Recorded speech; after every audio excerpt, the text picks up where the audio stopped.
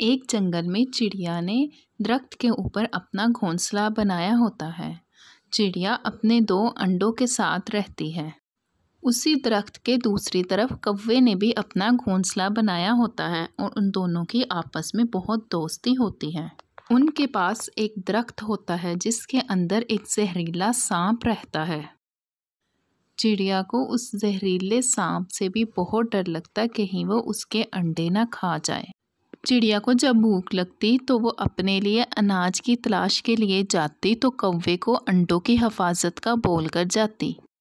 कौवे भैया मैं अपने लिए अनाज ढूँढने जा रही हूँ। आप मेरे अंडों का ख्याल रखना। ठीक है चिड़िया तुम परेशान नहीं हो। तुम जाओ मैं यहीं पर हूँ। और फिर चिड़िया खाने की तलाश के लिए निकल जाती। चिड़िया को एक जगह सेब के दरख्त नज़र आते हैं। वो एक सेब तोड़ती और अपने घोंसले की तरफ़ चली जाती और आराम से अपने अंडों के पास जाकर खाना खाती। जब रात होती चिड़िया को नींद आती तो वो अपने अंडों के ऊपर ही सो जाती ताकि कोई भी उसका अंडा न चुरा सके। आज कौवे की तबीयत खराब होती है। चिड़िया मेरी तबीयत ठीक नहीं मैं डॉक्टर के पास जा रहा हूँ।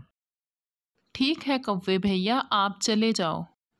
कौवे के गए हुए काफ़ी टाइम गुजर जाता है और चिड़िया को बहुत तेज़ भूख भी लग रही होती है। ऐसा करती हूँ, जल्दी से जाकर अपने लिए कुछ खाने के लिए ले आती हूँ। बहुत भूख लगी है। और फिर चिड़िया अपने लिए खाना तलाश करने चली जाती। और पीछे से जहरीला सांप आकर बुलबुल चिड़िया के दोनों अंडे खा जाता है। और कौवा भी वापस आ जाता है। वो देखता है कि जहरीला सांप चिड़िया के घोंसले के पास बैठा हुआ है और चिड़िया जब अपना अनाज लेकर आती तो देखती है उसके घोंसले में तो अंडे ही नहीं होते। ओ, ओ, ओ मेरे अंडे कहाँ चले गए? अरे सांप भैया क्या आपने किसी को मेरे घोंसले के पास आते हुए देखा है? लो भला मुझे क्या पता? मैं तो सो रहा था। कौवे भैया आपको पता है आज मैं जब अनाज लेकर वापस आई तो मेरे अंडे घोंसले में नहीं हैं। चिड़िया जब मैं डॉक्टर से वापस आया तो मैंने इस जहरीले सांप को तुम्हारे घोंसले के पास बैठा देखा था। शक तो मुझे भी इस सांप पर है लेकिन मेरे पूछने पर उसने तो साफ़ इनकार कर दिया। जैसे जैसे वक्त गुजर रहा था बुलबुल चिड़िया बहुत ज़्यादा उदास रहती और बस रोती रहती। कौवा अपनी दोस्त को इस तरह परेशान देखकर एक प्लान बनाता है। चिड़िया मेरे पास एक प्लान है। इस तरह सांप को उसकी सजा ज़रूर मिलेगी।